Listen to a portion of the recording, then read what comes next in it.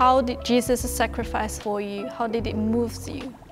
I went from feeling like I was unworthy and beyond saving to knowing that I was fully loved and that I didn't need to go looking for feelings of love or validation anywhere else because I had that completely and unfailingly in Jesus.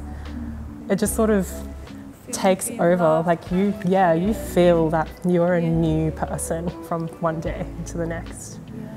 We try to get people's approval, but because of this, this, that, like good attitude or good work stuff.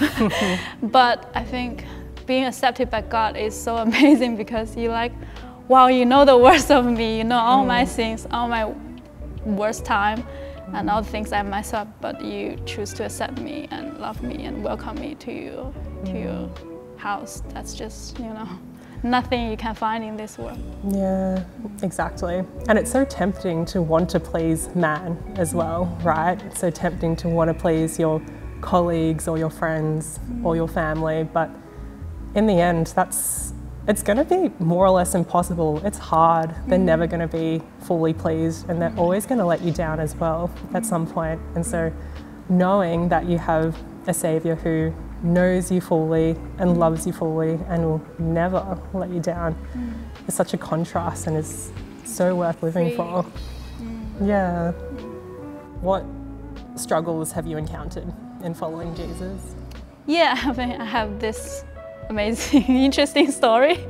so I was actually with a Max boyfriend and, and I wasn't Christian and I basically thought it's just everybody do this. I actually I didn't choose to do that because I wanted. I was a pretty conservative, but I thought I must do this to follow the world, like the society. Otherwise, people won't accept me. Relationship won't work anyway.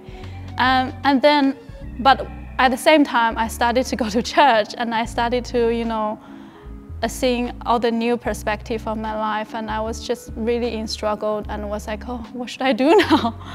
But I think I did have struggle like a lot because you need to choose. You can't just stay in between.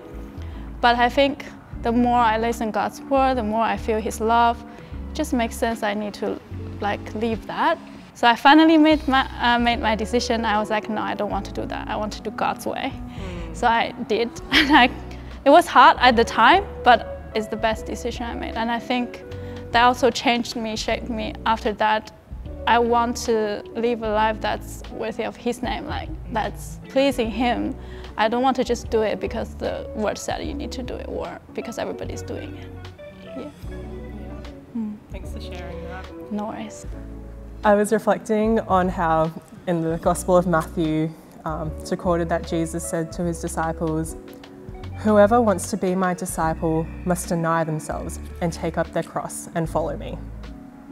So, following Jesus, um, it's not just all fun and rainbows and yeah, it's it's a real sacrifice, right? Like Jesus says, you have to deny yourself.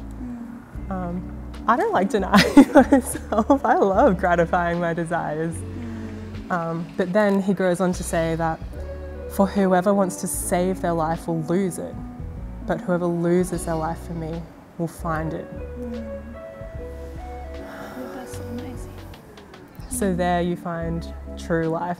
What we think leads to life is actually leading to death, but then what the world says is going to kill you is actually what leads to life. I think that's so cool, and that's um, one of the key verses that sticks with me when I'm struggling, um, when I know that I want to do something, but I know that, oh, probably not quite God's will for me, and it's that way for a reason.